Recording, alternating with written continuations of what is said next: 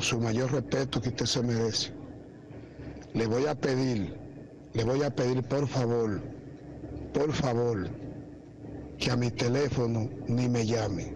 Se lo estoy diciendo a todas las iglesias que se comprometieron a darme su apoyo, que se comprometieron a darme su apoyo y me traicionaron porque los votos no aparecieron. Usted sabe que hay iglesias que yo, usted sabe que cuando usted me solicitó la otra vez, usted sabe cuánto yo le di. A usted que me dijo que tenía una música por ahí, que esto y que el otro. ¿Usted me entiende? Usted sabe que usted me llamó una vez para una vaina de un tubo de un motor y yo mandé a rescatar lo que usted me dijo que estaba quedado por ahí. Usted me entiende y mire lo que yo le di, los votos no aparecieron.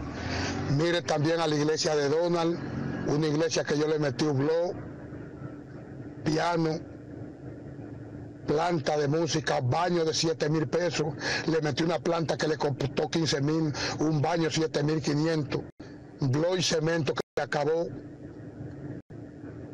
¿Usted me entiende? Le metí 12 mil pesos también y me traicionaron, no bajó nadie a votar.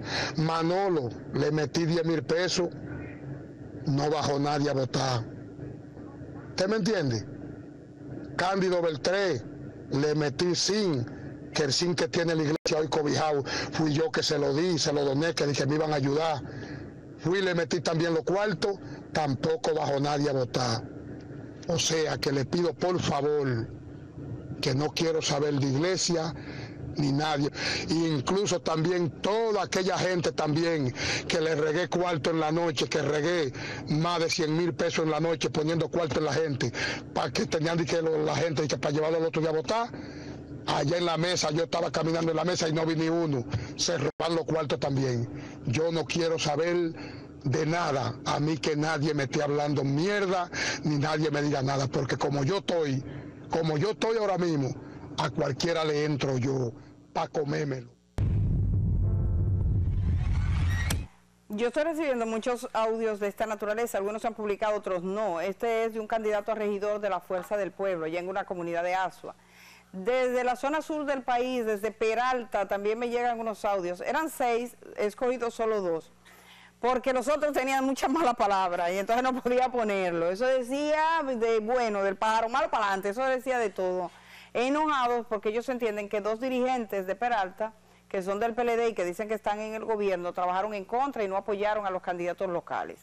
Y entonces dicen mucho la palabra traicionero. Hace mucho que yo no escuchaba esos traicioneros, los traicioneros. Yo hace rato que yo no escuchaba tanto decir, es muy común escucharlo en estas comunidades. Entonces he escogido dos pequeños cortes, nada más como una muestra de cómo está el ambiente en Asua, que me dijeron en Peralta que en esa comunidad eso es viral. Porque a mí me lo mandó uno que vive en Nueva York, de allá de Peralta, eso llegó hasta Nueva York. Están de todos los lugares mandándose los audios, mira cómo que está la comunidad, porque los traicioneros. Así es que dicen, vamos a verlo. Yo quiero que toda la nota mía se la manden, que la hagan virar para que él se dé cuenta que todo, el mundo estamos, estamos activos con la traición de él y que todo el mundo lo que queremos es la cancelación de él. Que mientras esa cancelación de Wader no llegue, no estamos en el PRM, no estamos en el PRM, nos quedamos en un lado en un lado nos quedamos hasta que no cancelen a Wader. Si a Wader no lo cancelan antes de los votos, nosotras nos quedamos sin votar. Nosotras nos quedamos sin votar porque Wader no puede seguir comiendo del partido del PRM. Con traicionero traidor, envidioso, lo que le tiene una buena envidia a Hansel porque él no ha podido tener el logro que tiene Hansel. Ese no, me tardé no la así porque esa ladrona me hizo que pensionara en el marido con 50. El marido está pensionado con 50, con eso ya vive. Esa... Entonces, en algunos audios yo no podía ponerlo todo porque tenía que poner mucho pito, y eso era pito, pito, pito, pito, pito, entonces no se podía. Pero eso era de Peralta. Fíjense lo que dice esta persona que está hablando. Dice que es una traición, pero dice que hay una de esas personas que tienen, le consiguió una pensión de 50 mil pesos para, o sea, yo he escuchado mucho también de eso, de los negocios que están detrás, que están saliendo todos a la luz. en el municipio de Higüey hay una candidata, Rosario Mateo me parece, que era regidora y aspiraba de nuevo. Y entonces alguien de Higüey también me mandó el audio que circuló de ella, muy molesta por los resultados electorales. Escuchemos cómo fue la cosa. Señores, miren, no hablemos de abuso, no hablemos. Solamente ustedes tienen que contar los coordinadores que habemos. A la persona que se le dio el dinero, el trabajo que según hicimos, no podía no perder. Y se pueden burlar de mí ahora, porque sí me duele. ¿Tú sabes por qué sí me duele? Porque mis hijos ahorita me escribieron que si yo no tenía casa ni hijo, que salía a las 5 de la mañana y todavía a las 12 de la noche yo no hubiera llegado a mi casa. Y si perdimos fue porque nos traicionamos nosotros. Y eso tenemos que investigarlo porque no podían perder, porque estaban en el poder. Y lo que realmente le, le duele al partido, pelearon por su voto, con cuarto y sin cuarto. Así que no me digan ustedes a mí que, que nosotros perdimos de una gente que ni en caravana, ni en pasamano, ni en una mierda tenía gente. ¡Coño! Bueno, ahí no puse el pito porque soy bien dominicano. Voy, sí, incluso una, conozco a alguien que está casada con un extranjero y me dijo que el marido ya lo estaba diciendo eh, porque vive con ella y entonces ya, ese es bien, donde quiera que van los dominicanos, ahí va. Pero eh, la verdad es que tenemos muchos audios, yo solo he escogido unos cuantos, me falta el del desayuno, pero voy a poner después, hablando con Juan Miguel, que ya no sé audio. Juan Miguel Pérez es sociólogo. Yo le he pedido a Juan Miguel que nos ayude a interpretar lo que está pasando, porque este nivel de exposición nos está diciendo algo. Él, que es experto en estudiar los movimientos sociales, lo que pasa en la sociedad, las expresiones, qué nos está diciendo, qué significa eso. Eh, bueno, pues es mejor apelar a él. Así que agradezco mucho esta oportunidad, Juan Miguel, que me ofreces de hablar contigo. Buenos días. Buenos días, Edith. Muchas gracias por la invitación. ¿Qué has escuchado estos audios y estos videos? ¿Qué sientes? ¿Qué piensas? Una escala más dentro del proceso de deterioro de la calidad democrática de los procesos electorales en el país. Eh, no podíamos esperar una cosa que no fuera la lógica, la consecuencia de estadios precedentes en los que sin duda alguna hay una evolución cada vez mayor de la normalización de las prácticas que la clase política ha instaurado, en este caso, la compra de votos. Es decir, que lo que normalmente, fíjate, son gente de extractos humildes, de orígenes eh, del propio pueblo, es decir, son, eh, no son los diputados ya iniciados dentro de la política, expertos en marrullas, son personas que en sus testimonios eh, se desprende, se intuye una cierta ingenuidad. Eh, son aquellos que quisieron copiar los de los de arriba sin tener tal vez las destrezas y argucias de los de arriba. Y por eso incluso llegan no solamente a quejarse de la situación, sino también a dejar evidencia de la misma. Entonces, eh, eso es normal dentro de etos, es decir, formas de ser eh, que pertenecen a, a, extractos, a estratos sociales que tienen cierta inocencia ante la vida. Es decir, eh, tú le ves que el tigueraje ha sido tomado prestado, para decirlo de una manera. Y esa, ese préstamo, que no necesariamente se sabe cómo mucho manejarlo, pues ocasiona que ni sea eficiente, ni sea efectivo, pero que al mismo tiempo parezca casi de telenovela, casi de circo. Pero en realidad eso es simplemente la visión amateur, vamos a llamarle así, de lo que los profesionales de la política hacen a grandes escalas y de una manera, por supuesto, mucho más afinada que estos elementos que por suerte aparecen, por suerte aparecen, porque nos dejan evidencia, pruebas tangibles de cómo funciona la llamada democracia en este país.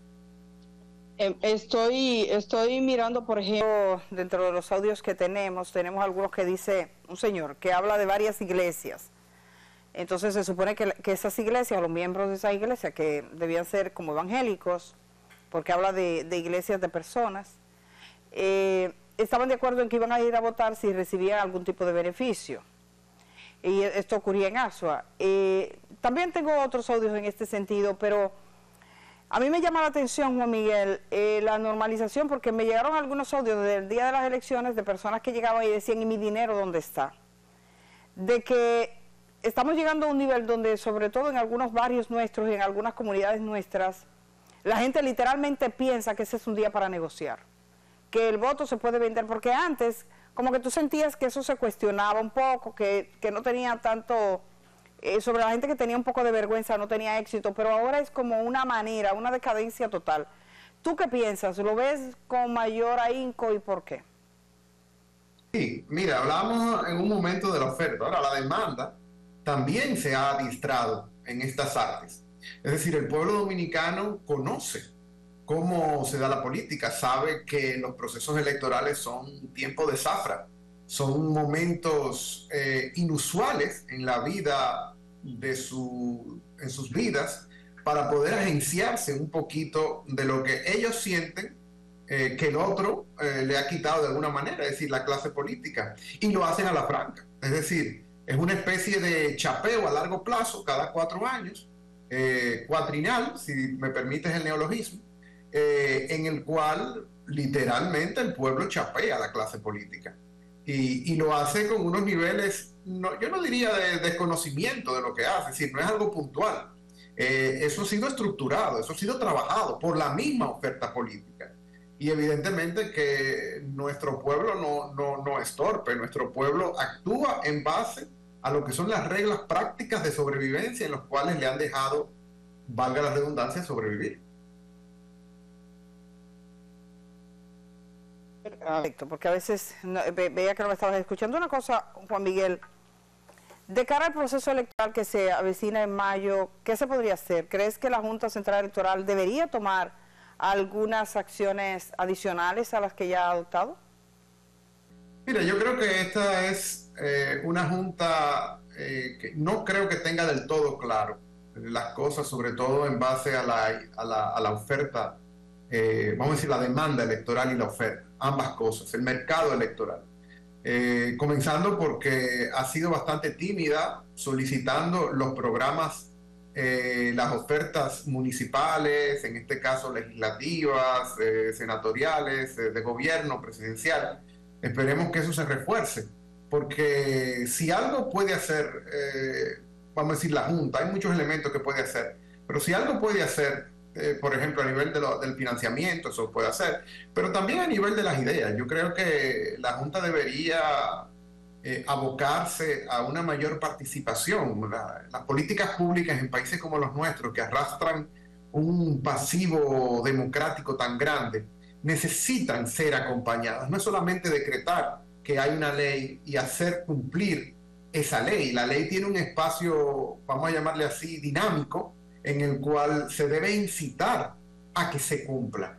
Y el cumplimiento de esa ley eh, tiene que pasar necesariamente por una acción explícita, un acompañamiento de la institución que está a cargo de hacer velar el cumplimiento de esa ley. Entonces, por ejemplo, a nivel de lo que es participación política, pues comencemos por la oferta, para no decir, para, para dejar un poquito a un lado la, demanda, que sea algo como si fuese una demanda inducida por una oferta de calidad. Y lo primero que tiene que establecerse es elementos en los cuales los candidatos los postulados tengan no solamente la posibilidad, sino la obligación de decir qué es lo que van a hacer. Porque, ¿qué es lo que sucede, Di? Que es muy fácil para un político no presentar su propuesta de gobierno porque una vez elegido, no tiene ningún compromiso con la gente que lo votó.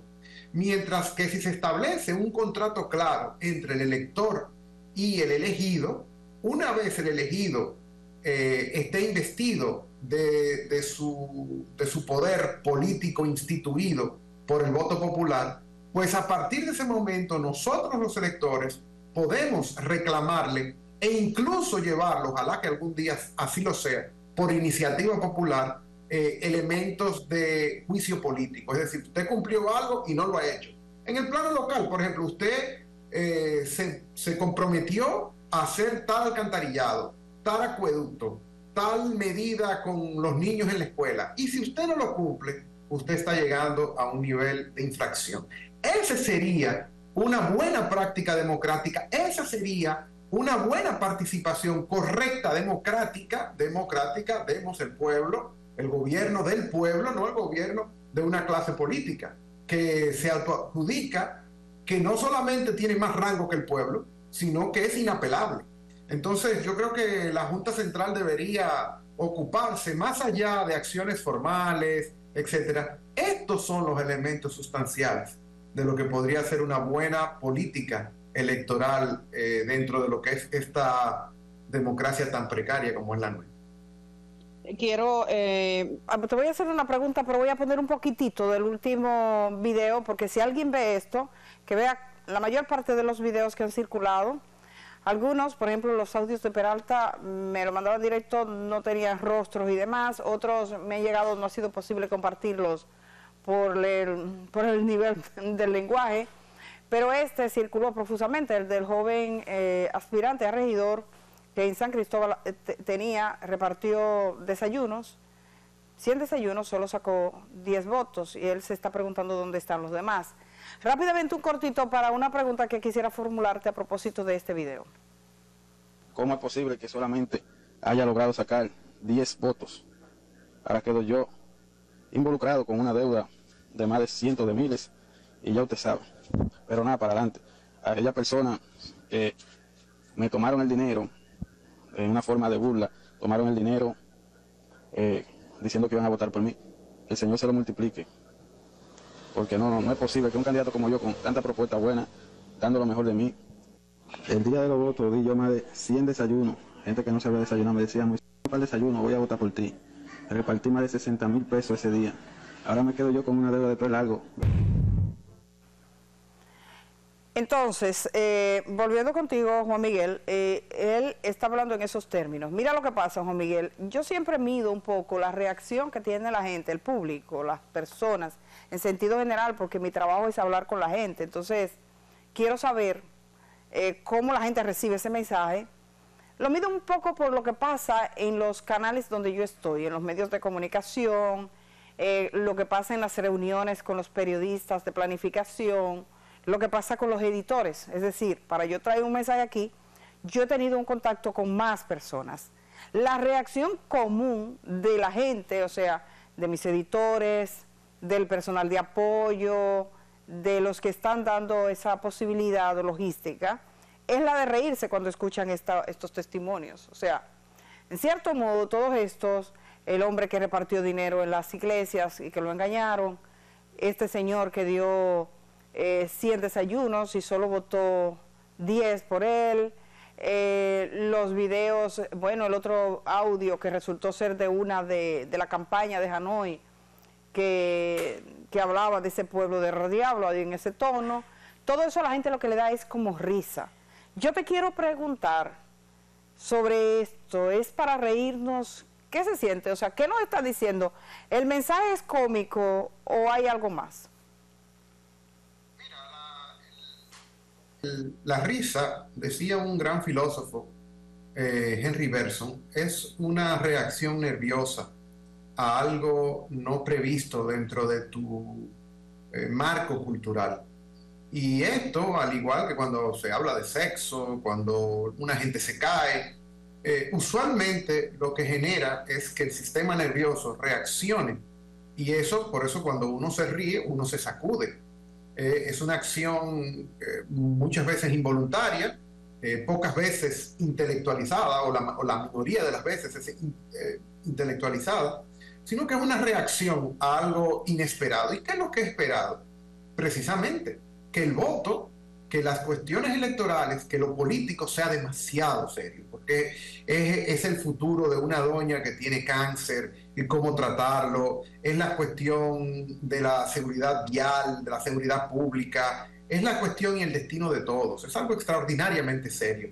Pero en nuestro país la cosa pública se ha tomado de relajo porque la clase política la ha hecho un relajo y la ha hecho un relajo casi de circo con un libreto extraordinariamente, diríamos nosotros, bien armado, bien pintoresco, bien folclórico, que yo le decía el otro día a una persona que aquí deberíamos hacer una, una exposición en un parque público con todos estos elementos, que se llame Nosotros los pendejos, y cómo la clase política ha hecho de la vida pública en nuestro país una verdadera calamidad, más allá de la económica, la social, la cultural, la política es la mayor de todas. Y lo que uno se encuentra extraordinario es que a estas alturas del juego se habla de muchas cosas, perdón, de muchas cosas muy banales, porque realmente hablar de reforma fiscal, que es cómo se obtienen los recursos y cómo se redistribuye eh, política presupuestaria, sería algo extraordinariamente importante. Y nadie habla de eso en temas electorales. Pero sí se hablan de muchas otras cosas. Se ve a gente friendo huevos, se ve a gente cocinando, se ve a gente poniéndose los zapatos, se ve a gente bailando, eh, se ve a gente saltando. Esa es la clase política. Entonces, la risa, por supuesto, a mí a veces me da pena porque estos son los infelices. Este es la, la, parte inferior, ¿no? Lo que quedan expuestos. De la pirámide. Eh, estos son los candidatos a regidores, por eso te decía, fíjate el nivel de inocencia con la que ellos mismos se quejan, prácticamente... Eh, se denuncian.